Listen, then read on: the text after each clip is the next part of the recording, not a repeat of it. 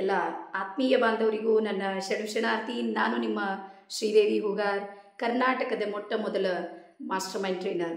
So ಇವತ್ತು ಮತ್ತೆ ನಮ್ಮ ಸಿರೀಸನ್ನು ನಾನು ಪ್ರಾರಂಭ ಮಾಡ್ತಾ ಇದ್ದೀನಿ. ಇವತ್ತಿನ ಟಾಪಿಕ್ ಏನು ಅಂದರೆ ಬಹಳಷ್ಟು ಸಲ ನಾವು ನಮ್ಮ ಜೀವನದಲ್ಲಿ ಏನು ಮಾಡ್ತೀವಂದ್ರೆ ಕೆಲಸವನ್ನು, ಅಂದರೆ ಮಾಡುವ ಕಾರ್ಯವನ್ನು ಯಾವ ರೀತಿ ಮಾಡಬೇಕು, ಯಾವಾಗ ಮಾಡಬೇಕು, ಎಷ್ಟು ಮಾಡಬೇಕು, ಇದು ಯಾವುದು ನಮಗೆ ಗೊತ್ತಿರೋದಿಲ್ಲ ಅಥವಾ ಗೊತ್ತಿದ್ರೂ ನಾವು ಸಾಕಷ್ಟು ಸಲ ಏನು ಮಾಡ್ತೀವಿ ಅಂದರೆ ಗೊಂದಲದ ಒಳಗೆ ಸಿಲುಕಿಬಿಡ್ತೀವಿ ಅಂದರೆ ಯಾವ ಕೆಲಸ, ನಿಮ್ಗೆ ಹೇಳ್ತೀನಿ ನೋಡ್ರಿ, ಎಲ್ಲ ಕೆಲಸಗಳು ಮಹತ್ವದ್ದು ಇರೋದಿಲ್ಲ, ಮತ್ತು ಎಲ್ಲ ಕೆಲಸಗಳು ತುರ್ತಾಗಿಯೂ ಇರೋದಿಲ್ಲ.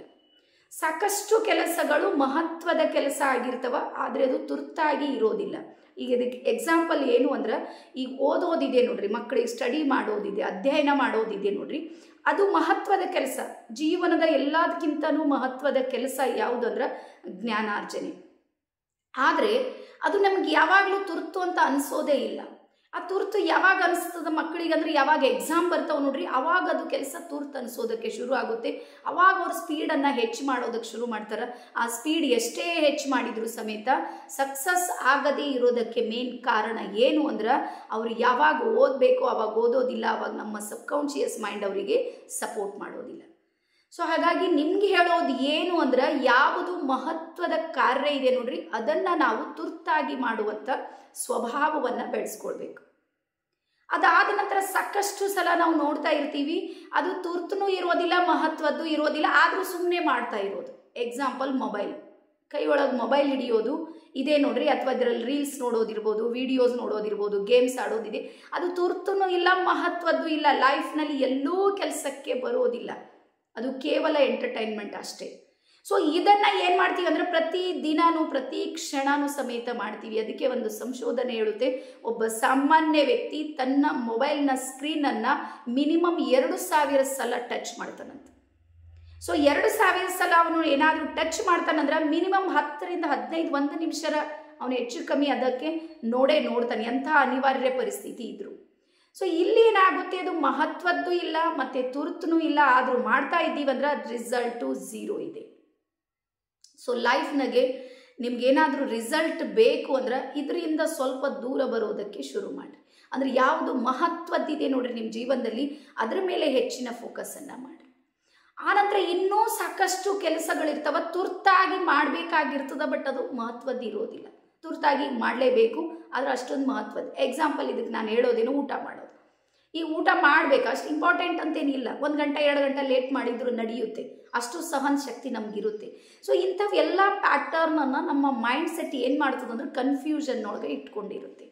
ಹಾಗಾಗಿ ನಿಮ್ಗೆ ಹೇಳೋದು ಏನು ಅಂದ್ರೆ, ನೀವು ನಿಮ್ಮ ಲೈಫ್ನಲ್ಲಿ ಇವತ್ತೇ ಒಂದಿಷ್ಟು ಒಂದು ಒಂದು ಅರ್ಧ ತಾಸು ಥರ್ಟಿ ಮಿನಿಟ್ಸ್ ಟೈಮನ್ನು ತೆಗಿ ತೆಗೆದು ಅದಕ್ಕೆ ಸರಿಯಾಗಿ ಒಂದು ಪ್ಯಾಟರ್ನಲ್ಲಿ ಅದನ್ನು ಬರೀರಿ ನನ್ನ ಲೈಫ್ನಲ್ಲಿ ಅಥವಾ ಇವತ್ತು, ಇವತ್ತಿನಿಂದ ಇವತ್ತು ನನ್ನ ಜೀವನದಲ್ಲಿ ಅಥವಾ ಇವತ್ತು ಮಾಡಬೇಕಾಗಿರುವಂಥ ಅತಿಯಾದ ಮಹತ್ವದ ಕಾರ್ಯಗಳು ಯಾವುವು ಈಗ ನನಗೆ ಮಹತ್ವದ ಕಾರ್ಯ ಯಾವುದು ಅಂದ್ರೆ ನನ್ನ ಜಾಬ್ ನಾನು ಡ್ಯೂಟಿ ಮಾಡೋದಿದೆ ನೋಡ್ರಿ, ಅದು ನನಗೆ ಮಹತ್ವದ ಕಾರ್ಯ. ಎರಡನೇದು ನನಗೆ ಕ್ಲಾಸ್ ಮಾಡೋದಿದೆ ನೋಡ್ರಿ, ಅದು ಭಾಳ ಇಂಪಾರ್ಟೆಂಟ್ ನಾನು ಏನು ಬಿಟ್ಟರೆ ನಡೆಯುತ್ತೆ ಅದ್ರ ಬಟ್ ಕ್ಲಾಸ್ ಬಿಟ್ಟರೆ ನನಗೆ ನಡೆಯೋದಿಲ್ಲ. ಸೊ ಹಾಗಾಗಿ ನಾನು ಅದು ಏನಾದರೂ ಸ್ಟೆಪ್ಸನ್ನು ಸರಿಯಾಗಿ ನಾನು ಮಾಡಲಿಲ್ಲ ಅಂದ್ರೆ ನಾನು ಎರಡು ಮೂರು ಕ್ಲಾಸನ್ನು ಒಂದೇ ಸಲಕ್ಕೆ ಮಾಡಲಿಕ್ಕೆ ಆಗೋದಿಲ್ಲ. ಸೊ ಹಾಗಾಗಿ ಜೀವನದಲ್ಲಿ ನೀವೇನಾದರೂ ಏಳಿಗೆ ಆಗಬೇಕಂದ್ರೆ ಈ ರೀತಿಯ ಒಂದು ಟೈಮ್ ಟೇಬಲನ್ನು ಫಿಕ್ಸ್ ಮಾಡಿರಿ. ಮತ್ತು ಯಾವುದು ಮಹತ್ವದ್ದು ಇಲ್ಲ, ತುರ್ತು ಇಲ್ಲ, ಆದರೂ ಅದು ನಮ್ಮ ಸಮಯ ಏನು ಮಾಡ್ತಾ ಇದೆ ಅಂದರೆ ಹಾಳು ಮಾಡ್ತಾ ಇದೆ. ಅದರ ಮೇಲೆ ನಾವು ಕಂಟ್ರೋಲನ್ನು ಇಡೋಣ. ಅದಾದ ನಂತರ ಈ ಹಿಂದಿನಿಂದನೂ ಗೊತ್ತು, ಮನುಷ್ಯನಿಗೆ, ಮನುಷ್ಯನ ಬ್ರೈನ್ ಸಿಸ್ಟಮ್ ಹೆಂಗದಂದ್ರೆ ಬರೀ ಇಪ್ಪತ್ನಾಲ್ಕು ತಾಸು ದುಡಿ ಅಂದ್ರೆ ಆಗೋದಿಲ್ಲ.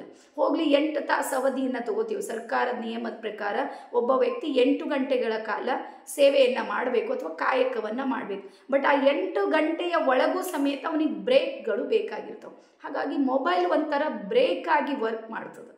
ಅಂದರೆ ಎಲ್ಲೋ ಮನಸ್ಸು ಬರ್ತಾ ಇಲ್ಲ, ಒಂದು ಐದು ನಿಮಿಷ, ಹತ್ತು ನಿಮಿಷ. ಬಟ್ ನಾವು ಬ್ರೇಕೇ ಜೀವನ ಮಾಡ್ಕೊಂಡು ಬಿಟ್ಟಿವಿ ಅದರ, ಅದಾದ ನಂತರ ಮತ್ತೆ ಪಶ್ಚಾತ್ತಾಪ ಪಡೋದು, ಮತ್ತೆ ಸಂಘರ್ಷ ಮಾಡೋದು, ಮತ್ತೆ ಹೋರಾಟ ಮಾಡೋದು. ಹಾಗಾಗಿ ನಾವು ಯಾವಾಗ, ಯಾವ ವಯಸ್ಸಿನಲ್ಲಿ ಏನನ್ನು ಮಾಡಬೇಕು, ಏನನ್ನು ಮಾಡಬಾರ್ದು ಅನ್ನುವಂಥದ್ದು ಒಂದಿಷ್ಟು ಪ್ರಜ್ಞಾವಸ್ಥೆ ಇಲ್ಲದ ಕಾರಣಕ್ಕಾಗಿ ನಮಗೆ ಸಮಸ್ಯೆ ಆಗ್ತಾ ಇದೆ. ಸೊ ಹಾಗಾಗಿ ನಾನು ನಮ್ಮ ಮಾಸ್ಟರ್ ಮೈಂಡಲ್ಲಿ ಏನು ಮಾಡ್ತೀನಿ ಅಂದ್ರೆ ಇಂಥ ಪ್ಯಾಟರ್ನ್ಗಳನ್ನು ರೆಡಿ ಮಾಡ್ತೀನಿ ಮೈಂಡ್ ಸೆಟ್ಟಲ್ಲಿ ಯಾವ್ದು ಮಾಡಬೇಕು, ಯಾವ್ದು ಮಾಡಬಾರ್ದು. ಯಾವುದು ಮಾಡೋದ್ರಿಂದ ನಾವು ಸಫಲ ಆಗ್ತೀವಿ. ಮತ್ತು ಒಂದು ಮಾತನ್ನ ನಿಮ್ಗೆ ಎಲ್ಲರಿಗೆ ಹೇಳ್ತೀನಿ. ಎಲ್ಲರಿಗೆಲ್ಲ ಗೊತ್ತೇ ಇದೆ. ನಾನು ಹೇಳೋದು ನಿಮ್ಗೆ ಗೊತ್ತಿಲ್ಲ ಅಂತಿಲ್ಲ. ಎಲ್ಲನೂ ಗೊತ್ತಿಲ್ಲ ಬಟ್ ಮಾಡೋದು ಕಷ್ಟ ಇದೆ. ಸೊ ಮಾಸ್ಟರ್ ಮೈಂಡ್ ಏನು ಮಾಡುತ್ತೆ ಅಂದರೆ ನಿಮಗೆ ಮಾಡೋದಕ್ಕೆ ಸಪೋರ್ಟ್ ಮಾಡುತ್ತೆ. ಸೊ ಹಾಗಾಗಿ ನಾನು ಫಸ್ಟ್ ಟೈಮ್ ತ್ರೀ ಡೇಸ್ನ ಫ್ರೀ ಸೆಷನನ್ನು ಮಾಡ್ತಾ ಇದ್ದೀನಿ ಮಾಸ್ಟರ್ ಮೈಂಡ್ ಇದು ಫಸ್ಟ್ ಟೈಮೇ ಮೊದಲೆಲ್ಲ ನಾನು ಹಂಗೆ ಮಾಡ್ತಿರ್ಲಿಲ್ಲ. ಬಟ್ ಈಗ ಗೊತ್ತಿಲ್ಲ ಯಾಕೋ ಮಾಡಬೇಕಂತೇಳಿ ನಾವು ನಮ್ಮ ಟೀಮ್ನವರು ಡಿಸೈಡ್ ಮಾಡಿವಿ ಹಾಗಾಗಿ ತ್ರೀ ಡೇಸ್ನ ಮಾಸ್ಟರ್ ಮೈಂಡ್ ಕ್ಲಾಸ್ ಇದೆ ನೋಡಿರಿ. ಅದು ನಿಮಗೆ ಫ್ರೀ ಸಿಗ್ತಾ ಇದೆ. ಸೊ ಹಾಗಾಗಿ ಯಾರಿಗಾದರೂ ಅನ್ನಿಸ್ತು ಎಸ್ ನಾನು ನನ್ನ ಲೈಫ್ನಾಗ ಈ ರೀತಿ ಪ್ಯಾಟರ್ನನ್ನು ಕ್ರಿಯೇಟ್ ಮಾಡಬೇಕು. ಯಾವುದು ಇಂಪಾರ್ಟೆಂಟ್ ಇದೆ ಅದರ ಮೇಲೆ ನಾನು ಫೋಕಸ್ ಮಾಡಬೇಕು. ಫೋಕಸ್ ಮಾಡಿದ ಮೇಲೂ ಭಾಳಷ್ಟು ಸಲ ಏಕಾಗ್ರತೆ ಇಟ್ಟಿದ ಮೇಲೂ ನಮ್ಮ ಬಾಣ ಹತ್ತೋದಿಲ್ಲ. ಬಾಣ ಅಂದ್ರೆ ರಿಯಲ್ ಆಗಿ ಏನಾಗಬೇಕು ಅದು ಆಗೋದಿಲ್ಲ. ಮಹತ್ವದ ಕೆಲಸ ಅಂತೇಳಿ ನಾನು ಓದೋದಕ್ಕೆ ಕುಂತೀನಿ ಅಂತ ತಿಳ್ಕೊರು. ಓದೋದನ್ನು ಬಿಟ್ಟು ಮತ್ತೊಂದನ್ನು ಓದ್ತಾ ಇದ್ದೀನಿ ಅಂದ್ರೆ ಮೈಂಡ್ ಹೇಳುತ್ತೆ, ನೀನು ಓದೋದ ಮೇಲೆ ಫೋಕಸ್ ಮಾಡ್ತೀವಿ ಬಟ್ ಅದು ಕೆಲಸಕ್ಕೆ ಇಲ್ಲ ಅಂದ್ರೆ ಭಾಳಷ್ಟು ಸಲ ನಾವು ನೋಡ್ತೀವಿ, ವಯಸ್ಸು ನಲವತ್ತು, ಐವತ್ತು ಆಗಿರುತ್ತೆ. ಓದೋದು ಯಾವುದಂದ್ರೆ ಕಾಗಕ್ಕ, ಗುಬ್ಬಕ್ಕನ ಕತೆ ಓದ್ತಾರೆ. ವೇಸ್ಟ್ ಇದೆ ಸೊ ಹಾಗಾಗಿ ನಮ್ಮ ವಯಸ್ಸು, ನಮ್ಮ ಅನುಭವ, ನಮ್ಮ ಪ್ರೋಗ್ರೆಸ್ಸಿಗೆ ಯಾವುದು ಬೇಕು ನೋಡ್ರಿ, ಅದನ್ನು ನಿಮ್ಮ ಮಹತ್ವದ ಕಾರ್ಯವಾಗಿ ಆಯ್ಕೆ ಮಾಡಿಕೊಡ್ರಿ ಅಂತೇಳಿ ಹೇಳ್ತಾ ನಿಮ್ಮೆಲ್ಲರಿಗಾಗಿ ನಾನು ಕಾಯ್ತಾ ಇದ್ದೀನಿ. ಎಲ್ಲರೂ ತ್ರೀ ಡೇಸ್ನ ಕೋರ್ಸ್ನಲ್ಲಿ ಎನ್ರೋಲ್ ಆಗಿ ಥ್ಯಾಂಕ್ ಯು